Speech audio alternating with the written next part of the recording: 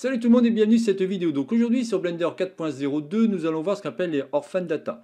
Alors je me suis dit je vais prendre tant qu'à faire la scène que j'ai faite récemment sur ma dernière euh, formation sur Blender 4X. Ça s'appelle ma première modélisation. C'est vraiment fait pour débutants et débutantes. Mais tout ce que vous voyez ici, je vais vous expliquer comment modéliser cela. Si vous ne connaissez strictement rien à Blender, je ne peux que vous conseiller cette formation que vous allez retrouver sur fatopa.com, donc le centre d'apprentissage fatopa.com, à 14 euros, vous aurez presque 5 heures de vidéo. Bon, revenons donc par rapport à Orphan Data. Mais qu'est-ce que c'est que les Orphan Data? Eh bien, en fin de compte, ici, si vous regardez bien, on est tout le temps en train de travailler sur ce qu'on appelle le View Layer. Le View Layer, votre layer, c'est-à-dire c'est un calque. C'est ce que vous allez retrouver ici. Mais on peut bien entendu, par exemple, utiliser ce qu'on appelle le vidéo séquenceur. Là, j'ai rien.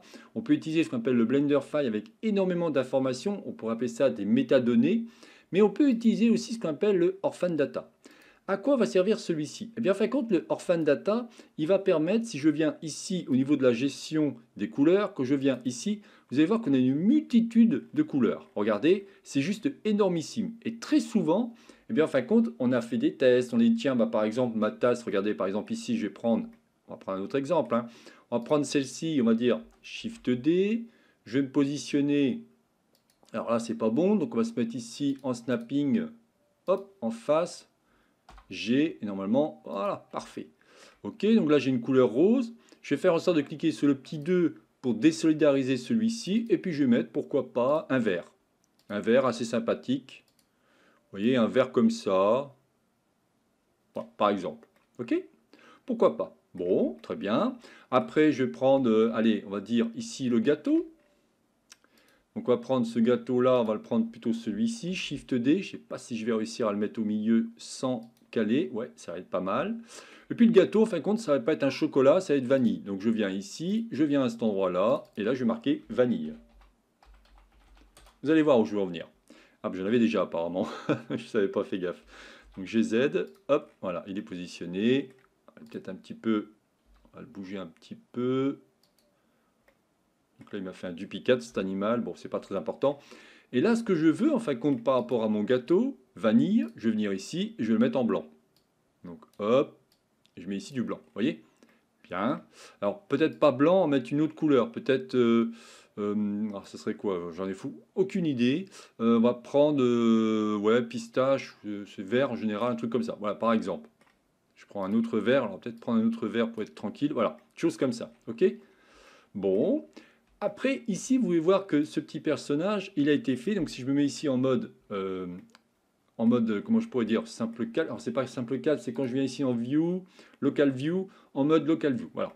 Si je viens ici en mode sculpt mode, vous allez travailler avec des brosses. D'accord? Bon, très bien. Vous utilisez différentes brosses et ainsi de suite. On va pouvoir, donc là, je me remets en mode. Hop, c'est chaque fois, évidemment, j'utilise le raccourci clavier. Enfin, vous voyez que, en fin de compte, les orphan view, c'est quoi? Ce sont les éléments orphelins. Ce qui est très intéressant, c'est que vous allez pouvoir, bien entendu, nettoyer tout cela. C'est-à-dire que quand vous allez vouloir impacter, enfin, impacter votre élément, donc là, je vais revenir ici en mode plutôt objet.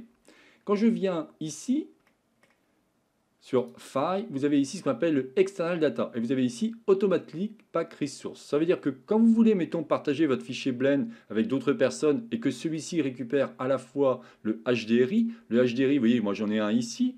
Imaginons ici, je prends un autre HDRI.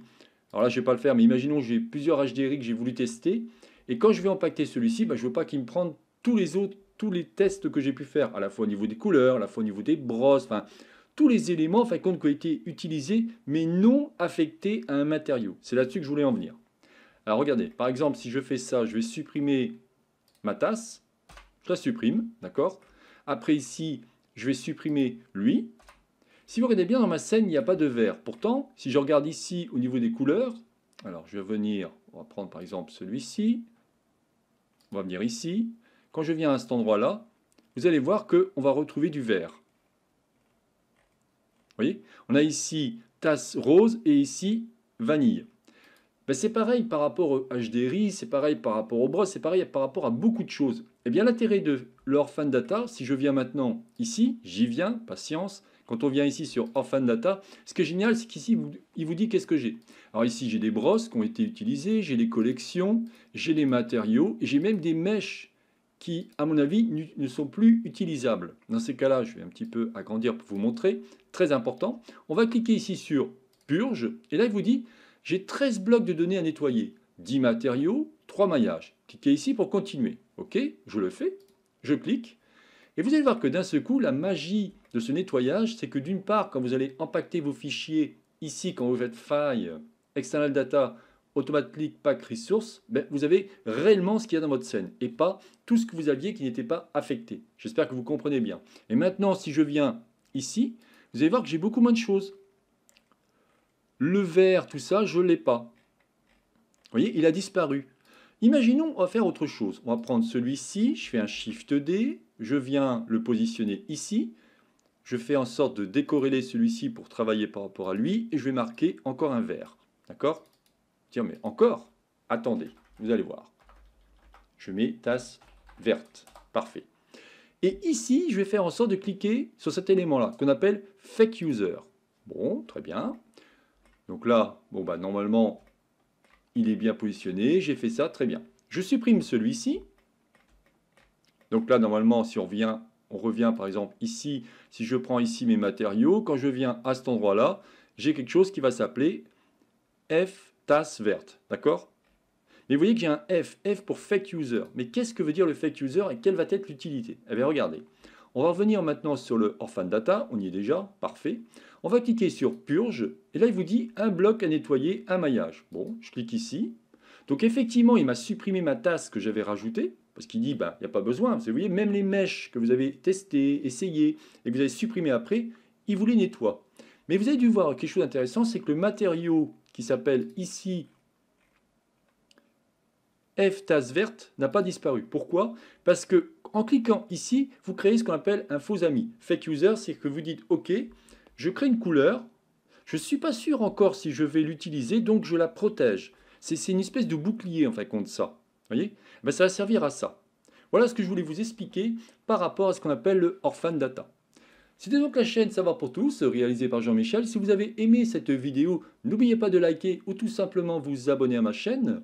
Si vous voulez en savoir plus, par exemple aussi sur l'animation, je suis en train de préparer pas mal de choses.